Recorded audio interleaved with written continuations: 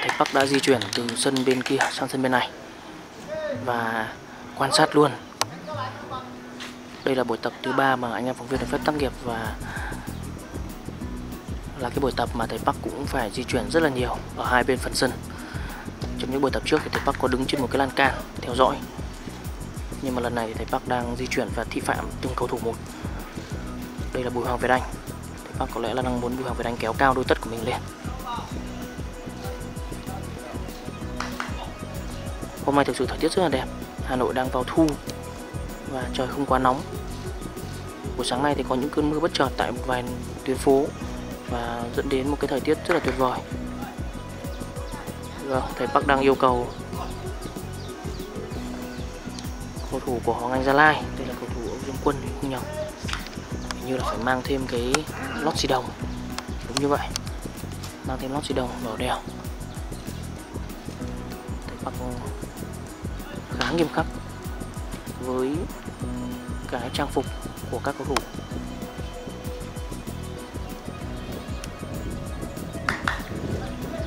Vâng Tiếp tục một cầu thủ nữa phải mang vào mang lót ống đồng vào.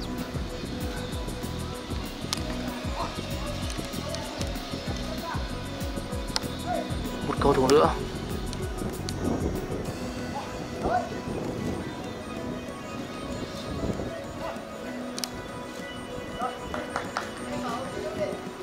Đó, thầy bác đang chỉnh từng cái lót ống đồng của các cầu thủ trẻ. Rất tỉ mỉ, rất cẩn thận.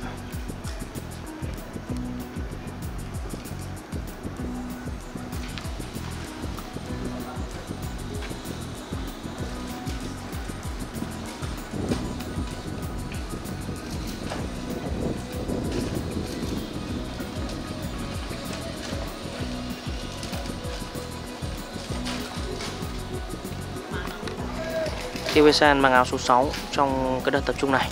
Và uh, Tiêu Esan có một lời hứa với chính bản thân mình. Đó chính là sẽ tập luyện và thi đấu tốt hơn trong lần tập trung này. Lần trước thì Tiêu Esan hơi rón rén một chút và em cũng nói rằng em chưa đạt đúng cái phong độ của em. Lần này thì em đang rất cố gắng thể hiện tốt hơn. Với em thì đây là những cơ hội hiếm hoi được chứng minh với thầy Park năng lực của mình. Và chắc chắn là những cầu thủ trẻ như thế này thì đang chắt chiu những cơ hội của mình. TV San là ở Củ Chi. Là đất Củ Chi cũng chưa có một tuyển thủ nào. Cũng chưa có một cầu thủ được gọi lên tuyển cả. Và TV là một trong những điểm sáng hiếm hoi của mảnh đất Củ Chi. Trong cái đợt chung trước thì TV San thi đấu ở vị trí tiền vệ phòng ngự, tiền vệ trung tâm. Và về cơ bản thì lần tập trung trước thì em cũng giữ một cái vai trò cầm nhịp cũng không hề đến nỗi tồi. Tuy nhiên là với TV San thì em có thể làm tốt hơn nữa.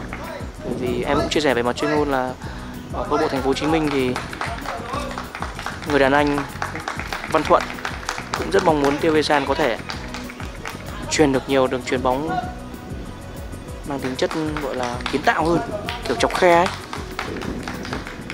Còn ờ, ở thời điểm hiện tại thì TV San mới chỉ thực hiện được những pha truyền bóng ngắn nhỏ đơn giản và chuẩn xác.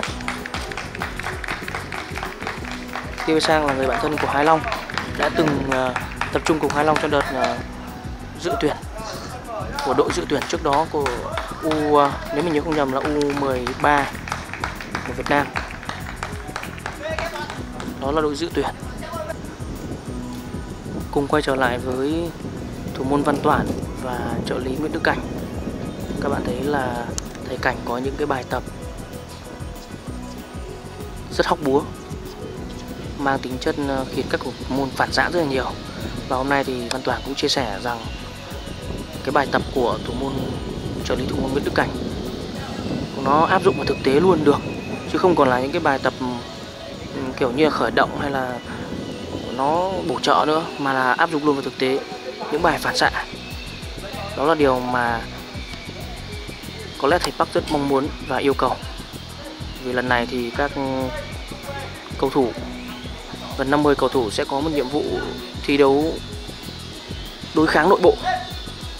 Rồi, chúng ta cùng quan sát thủ môn Văn Toản phản xạ như nào.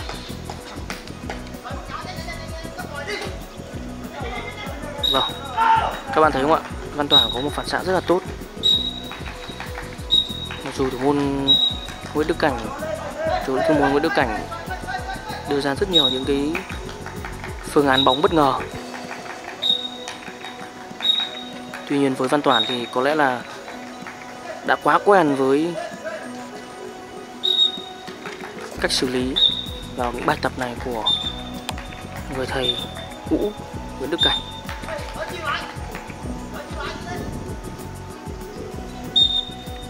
Văn Toàn đang là một trong những thủ môn có thể hình tốt của bóng đá Việt Nam.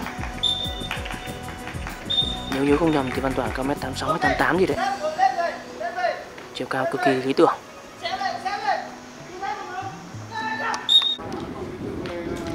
Thầy Park và thầy Ly đang trao đổi riêng với nhau một chút liên quan đến giáo án huấn luyện, chắc chắn là như vậy rồi ở bên phần sân ờ, Myanmar này thì thầy Ly sẽ là người chỉ đạo chính thầy Park giao toàn quyền cho thầy Ly ở bên phần sân này. Và các giao án thì thầy Ly bám rất sát, để các học trò có thể bám theo. Đây chắc chắn là một cuốn sổ vô cùng quan trọng của thầy Ly, quan trọng với đội tuyển U2 lần này. Chúng ta tiếp tục quan sát Tiêu Esan Tiêu Esan là một cầu thủ mà có thể chơi bóng được bằng cả hai chân. Mình nhớ không nhầm thì Tiêu san thuận chân phải.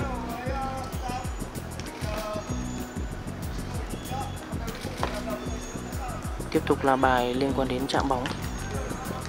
Vẫn là những bài khởi động thôi mọi người ạ. Ngày hôm nay một điều đặc biệt là các phóng viên sẽ được phép tác nghiệp toàn bộ buổi tập. Không phải đơn thuần 25 phút nữa, Mà sẽ là toàn bộ buổi tập.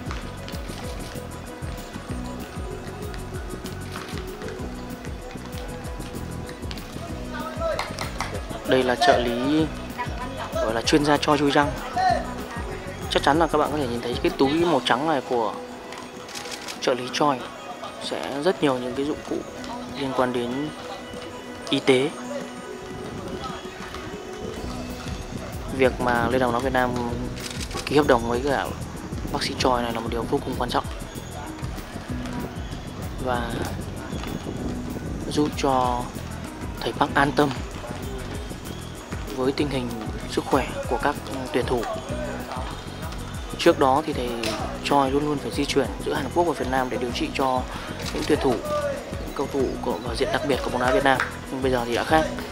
Thầy Choi đã ở đây, ký hợp đồng với bóng đá Việt Nam và phục vụ thầy Bắc, phục vụ các cầu thủ của đội tuyển Việt Nam một cách trọn vẹn, toàn tâm toàn ý. Một điều rất tuyệt vời. Bây giờ chúng ta cùng xem hai long truyền bóng làm sao các bạn nhé hai long đây là bài truyền dài, truyền truyền ngắn. Truyền bóng tự do khắp mặt sân các bạn mọi người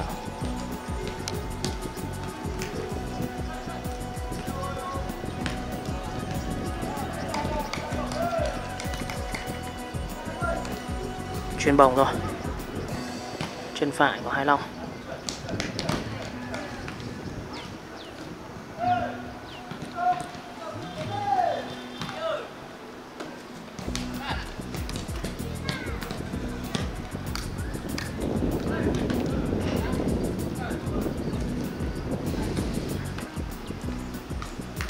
Rất nhẹ nhàng êm ái, đúng không ạ?